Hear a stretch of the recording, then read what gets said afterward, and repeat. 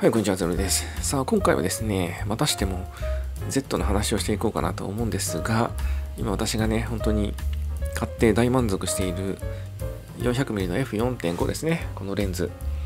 についての話を、まあ、していこうかなと思います。まあ、要点としてはですね、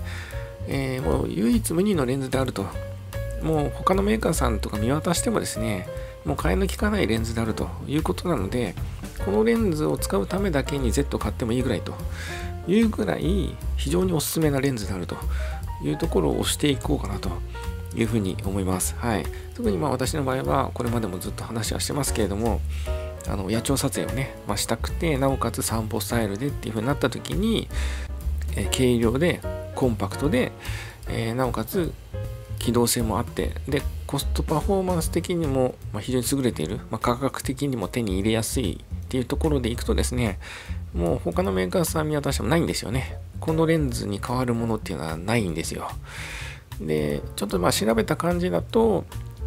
キャノンの旧機種、旧モデルで EF マウントですよね。EF マウントの 400mmF5.6 っていうのがどうもあったみたいなんですよね。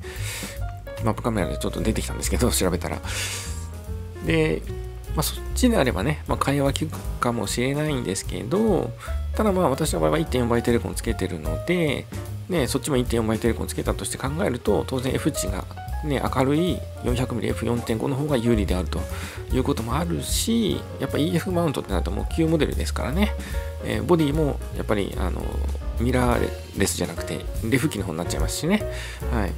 ていうこともあってですね、やっぱこうレンズネイティブで使えるボディっていうのもやっぱりキャノンのその 400mmF5.6 とかだと古くなっちゃうしっていうところで、えー、やっぱり Z と、うん、これ替えが利かないレンズであるとでなおかつこのレンズ自体の写りもやっぱ素晴らしいしで今使ってるこの Z7 ねこれの写りも実にいいと本当に素晴らしいなと思いますよね。はい。これはもう散々これまでも言ってきてる話ではありますけどね。はい。でなおかつこの1.4倍テレコンねこれがやっぱ本当良かったなと思っていて100、400の時は結局1.4倍テレコン買えなかったんですよね持ってる時に。でその時は結局 400mm で撮ってはいたんですけどやっぱりこの野鳥撮影って部分においてはどうしても焦点距離が足りなくて思うような写真ってのは撮れなかったんですよね。でところが 400mmF4.5 を手に入れえー、それでもやっぱダメだったんですよね。結局 400mmF4.5 だけだとやっぱ焦点距離がそもそも足りなくてやっぱダメだったんですよね。で、1.4倍テレコンを買ったことにより、えー、焦点距離が伸びて、で、えー、私がこう欲しいなと思ってる、撮りたいなと思ってる写真が撮れるようになったということで非常に撮れ高が急激にアップしたんですよね。で、まあ、私が撮りたい写真っていうのは前もから言ってますけれども解像感の高い写真をね撮りたいと。で高画素機でなおかつ写りもパキッとした写りで毛並み1本まで出るような写りっていうのを、えー、してほしいなと。しかも、ね、それはあの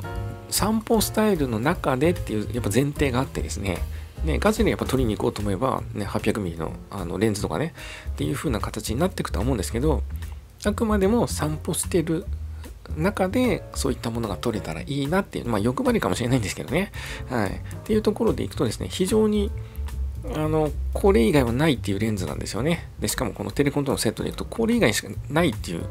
組み合わせでですね、やっぱ Z 使っててよかったなというところで、ニコンさんよくぞあのこの製品出してきてくれたなと、非常に感謝したいなというところですね。またなんでこのね、なんつうかな、製品を出そうと思ったのかっていうところもね、ちょっと逆に不思議ではありますけどね、他のメーカーさん全然出してないのに、はい。まあ、だからこそっていうのもあるかもしれないですけど、まあ、非常にいいものを出してくれたなと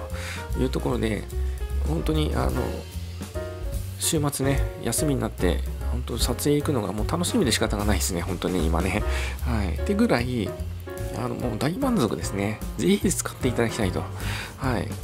今の50万ぐらい希望小売価格になってますけれども、あのニコンのサイト見るとね、はい。まあ、それでも、十分安いんじゃないかって思えるぐらい、本当にこれ長く使える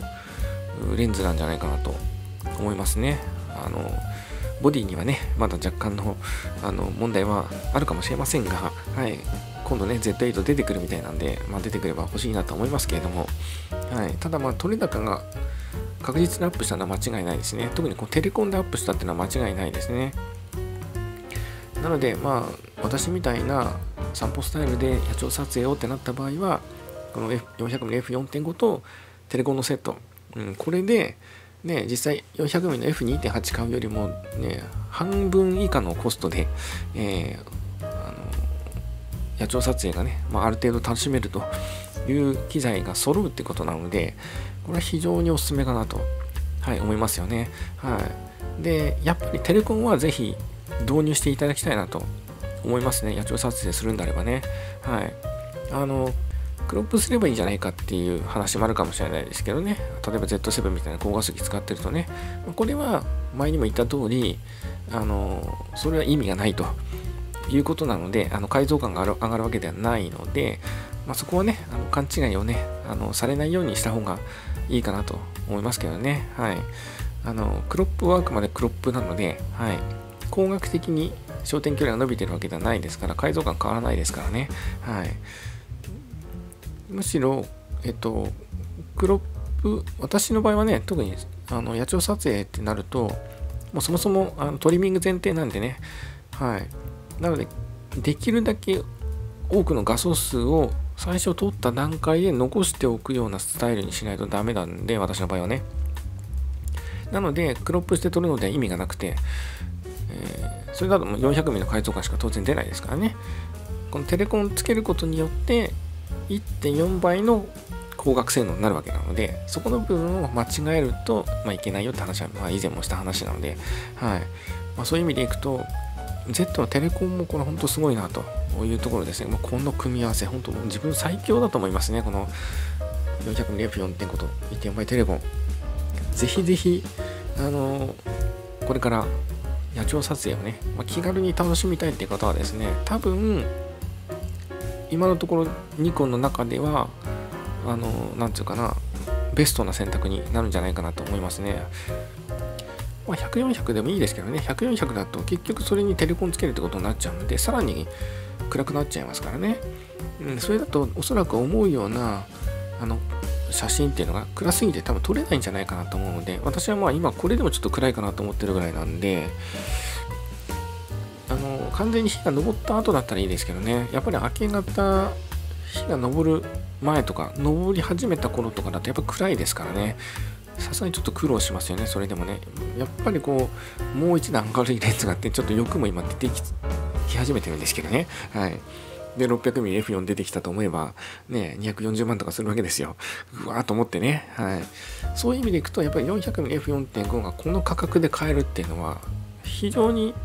お買い得だと思うんですけどね。どうですか、皆さ